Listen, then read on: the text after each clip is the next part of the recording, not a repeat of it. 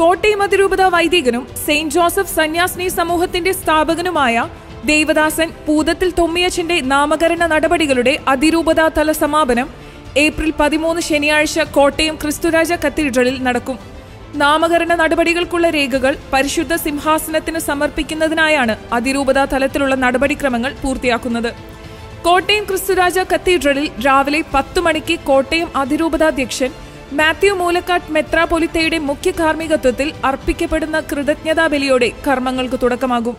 വിശുദ്ധ കുർബാനയെ തുടർന്ന് സഭാ നിയമമനുസരിച്ചുള്ള അതിരൂപതാതല നടപടിക്രമങ്ങളുടെ ഔദ്യോഗിക സമാപനത്തിന്റെ നടപടികൾ പൂർത്തിയാക്കും.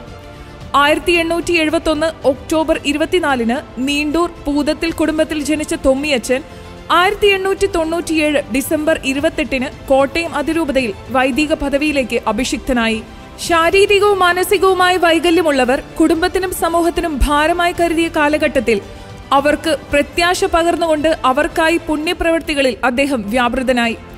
ആയിരത്തി തൊള്ളായിരത്തി ഇരുപത്തിയഞ്ച് മെയ് മൂന്നാം തീയതി അഗതികൾക്കും ആലംബഹീനർക്കുമായി കൈപ്പുഴയിൽ സെയിന്റ് തോമസ് അസൈലം സ്ഥാപിച്ചു. തുടർന്ന് ആയിരത്തി തൊള്ളായിരത്തി ഇരുപത്തെട്ട് ജൂലൈ മൂന്നാം തീയതി അഗതി ശുശ്രൂഷാർത്ഥം സെയിന്റ് ജോസഫ് സന്യാസിനി സമൂഹവും സ്ഥാപിച്ചു. ആയിരത്തി തൊള്ളായിരത്തി നാൽപ്പത്തി മൂന്ന് ഡിസംബർ നാലിന് അദ്ദേഹം ദിവംഗതനായി. രണ്ടായിരത്തി ഒൻപത് ജനുവരി ഇരുപത്തി ആറിനാണ് പൂതത്തിൽ തൊമ്മിയച്ചനെ ദേവദാസ പദവിയിലേക്ക് ഉയർത്തിയത്.